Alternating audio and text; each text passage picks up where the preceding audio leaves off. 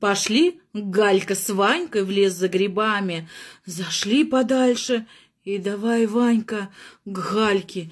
И так, и сяк, и по-всякому. Галька-то девка вредная, высокая, не то что Ванька, метр с кепкой.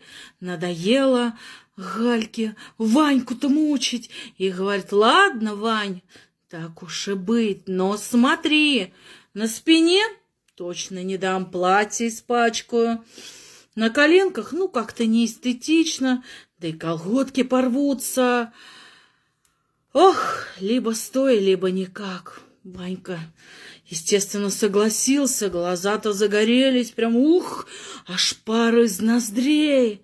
Снимает ремень у себя. Гальки-то на коленки его одевает, затягивает. Становится как следует. Как дал ей сзади! И погнал, и погнал! Ох, погнал так, что шишки посыпались. Галька стоит, балдеет, наслаждается и говорит, «Ох, Ванька, леший тебя надоумел!» И тут голос из кустов. «Да я сам такое первый раз вижу!»